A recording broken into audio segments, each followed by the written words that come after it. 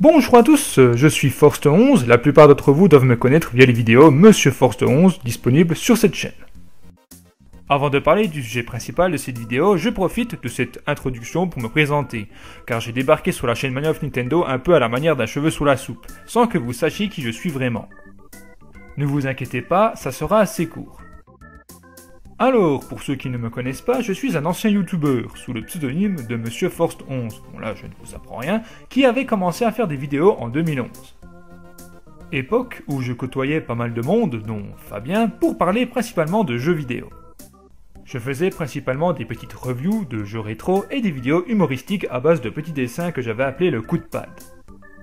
À cause de différents événements que je ne citerai pas dans cette vidéo, j'ai supprimé ma première chaîne en 2013. Quelques mois plus tard, j'étais revenu sous le pseudo d'Ajoin93 où je m'étais principalement consacré à des petites chroniques et à des vidéos de présentation de jeux de société.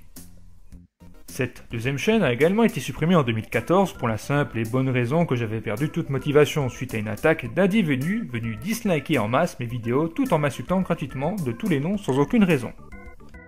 Et c'est alors que Dark Ventura est venu et m'a proposé de poster euh, mes anciennes vidéos donc sur la chaîne Mania of Nintendo.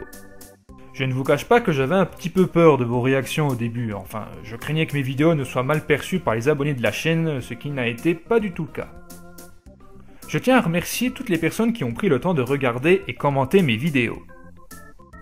J'ai attentivement lu vos critiques, même si euh, je, ne vous ai pas répondu, et je vous en remercie d'avoir été honnête dans vos commentaires.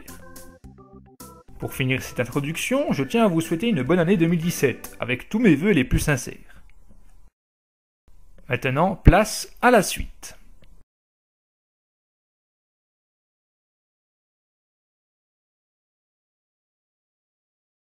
« 1982, Activision publie Pitfall, l'un des tout premiers jeux de plateforme ayant vu le jour.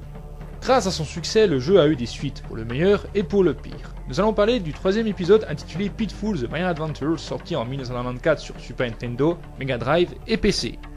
L'histoire est ultra basique. Harry Jr. accompagne son père dans ses explorations et ce dernier se fait enlever par un mystérieux Gary Maya et comme vous l'avez compris, vous allez devoir le sauver de son ravisseur. Ce Pitfall est un jeu de plateforme pur jus qui ne vous laissera aucun répit tant les pièges et ennemis sont nombreux.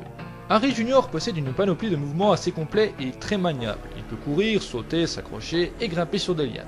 Il peut aussi ramper afin de traverser certains passages et trouver des secrets. Harry possède une fronde qui lui permet de lancer des cailloux et de fouetter les ennemis se trouvant près de lui. En trouvant des boomerangs, Harry peut plus facilement se défendre quand le nombre d'ennemis à l'écran est assez élevé. Les sabliers, assez bien planqués, permettent de figer les ennemis pendant un court instant. Le jeu est très beau en proposant des jolis décors et des animations très détaillées de notre héros, comme par exemple le fait qu'il s'éclate contre un mur s'il fonce dedans. Malheureusement, si on ne se rend pas compte au début, le jeu manque cruellement de variété. La plupart des niveaux, comme celui de la chute et du temple, reviennent beaucoup trop souvent, et la musique, assez moyenne, s'oublie rapidement. Pour terminer, les niveaux sont blindés de passages secrets en tout genre, dont certains vous offrent la possibilité de jouer au tout premier Pitfall.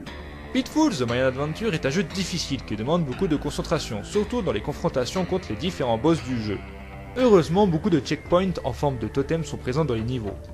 L'absence d'un système de mode passe risque de frustrer plus d'un, donc ce soft est réservé aux mordus de challenge élevé.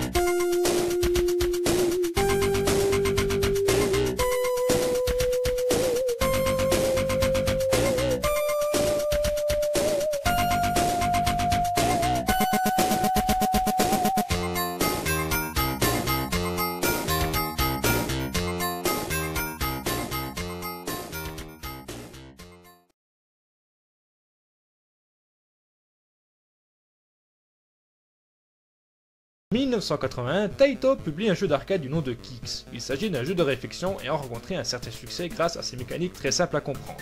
Qui dit succès dit bien sûr portage sur différentes machines. Vous incarnez une sorte de diamant dans une aire de jeu en forme de rectangle qui couvre une très grande partie de l'écran. Le but du jeu est de recouvrir le terrain en dessinant des polygones avec le diamant. Au départ, le diamant ne peut que se déplacer sur les bords de l'aire de jeu. A l'aide d'une touche, le diamant se déplace dans la zone et trace une ligne. Une fois qu'une forme est créée, la zone fermée devient colorée et solide, et le joueur marque des points. Et plus la forme est grande, plus le nombre de points gagnés sera important, à savoir qu'il faut réussir à recouvrir au moins 75% de la surface du niveau pour le terminer.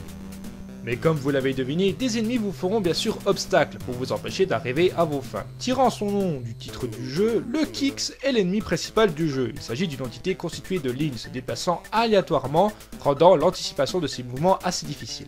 Si le Kix entre en contact avec le diamant ou la ligne qui est en train de se former, le joueur perd une vie. La meilleure technique pour éviter le Kix est d'essayer de le bloquer en essayant de l'entourer de formes devenues solides.